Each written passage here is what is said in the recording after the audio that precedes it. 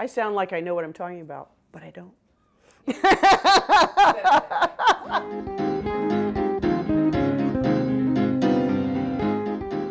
As I said, I look at my part and if I whether or not I get to throw up on stage. Yeah. So, um, Which is a plus. It should be is a plus. oh yeah, and if it's not in the script, I'll put it in. By God. So.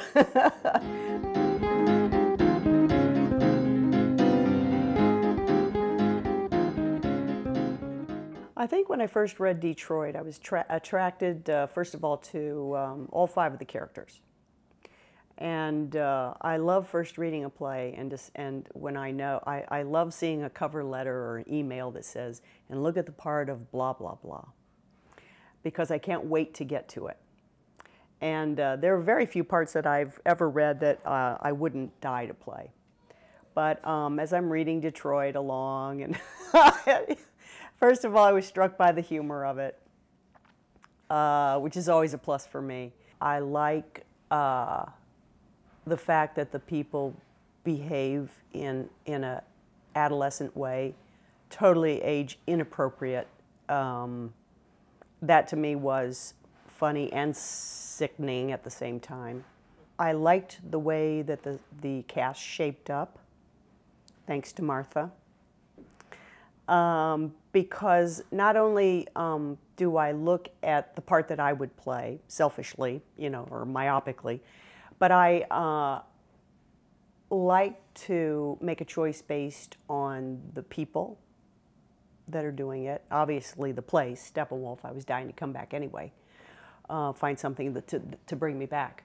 But um, I know that with this uh, group, headed by Austin, uh, it'll be a, a, a swell fall in Chicago.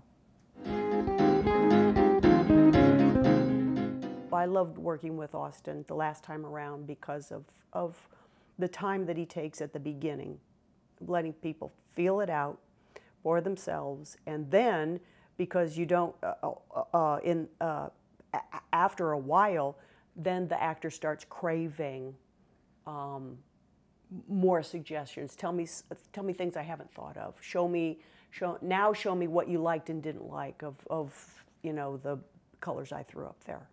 So um, he starts to come in uh, with a firmness r- right when you want it, mm-hmm. and not before.